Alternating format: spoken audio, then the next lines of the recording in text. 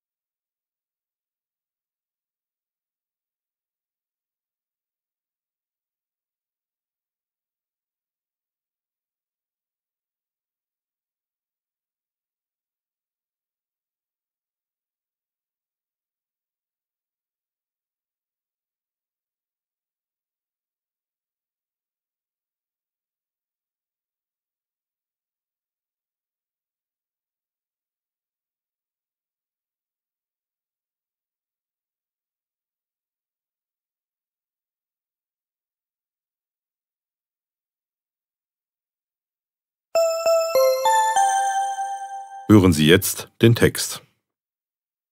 Sie hören ein Gespräch zwischen Philine Lenz, Studentin an der Universität Wien, und ihrem Vater über die Teilnahme an Erasmus-Programmen.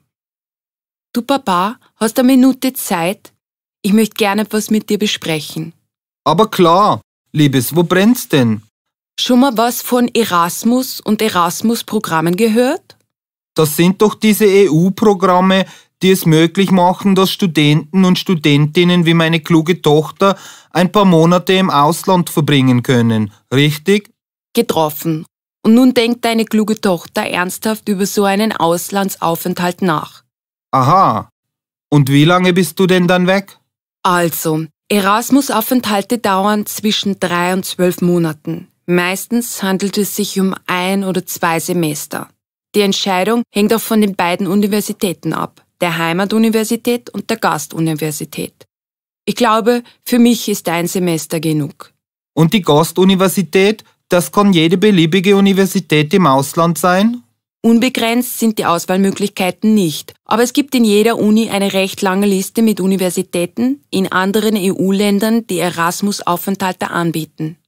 Du bist jetzt im vierten Semester, nicht wahr? Darfst du denn schon weg? Oh ja, Voraussetzung für Erasmus ist, dass man mindestens zwei Semester seines Studiums erfolgreich abgeschlossen hat.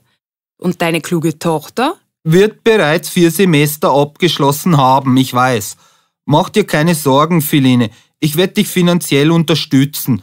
Ob für ein Semester oder zwei, das spielt keine Rolle. Danke, Papa. Bist echt ein Schatz. Aber zum Glück musst du nicht alles bezahlen. Ich erhalte wie alle Studenten, die ins Ausland fahren, ein Erasmus-Stipendium. Von einem früheren Erasmus-Studenten habe ich allerdings erfahren, dass es mit Sicherheit nicht ausreicht, um alle Kosten zu decken. Den größten Teil der Ausgaben muss man schon selber tragen. Philine, ich wiederhole, mach dir über das Geld keine Sorgen. Was mich interessieren würde, musst du im Ausland Studiengebühren zahlen. Nein, davon sind alle Erasmus-Studenten befreit. Das ist ja schon mal was. Und hast du dich schon für ein bestimmtes Land für eine bestimmte Uni entschieden? Als Architekturstudentin hätte ich viele Auswahlmöglichkeiten. Italien zum Beispiel oder Frankreich oder auch Spanien. Da kommt es natürlich auf die Sprachkenntnisse an. Die müssen so gut sein, dass man Universitätskurse ohne Probleme besuchen kann. Italienisch und Spanisch kannst du nicht? Bleibt also nur Frankreich, wahrscheinlich Paris, vielleicht auch Bordeaux. Das muss ich noch überlegen. Ein Glück, dass ich in der Schule Französisch gelernt habe. Paris ist sicher viel schöner, aber auch teurer.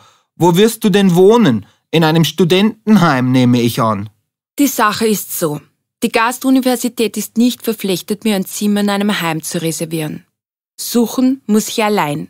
Aber wenn ich mich rechtzeitig darum kümmere, dann finde ich garantiert etwas. Nur muss ich zuerst mal wissen, in welcher Stadt ich studieren werde. Dann kann ich dir nur viel Glück wünschen, Töchterchen. Danke, Papa. Ende Test 4, Teil 3.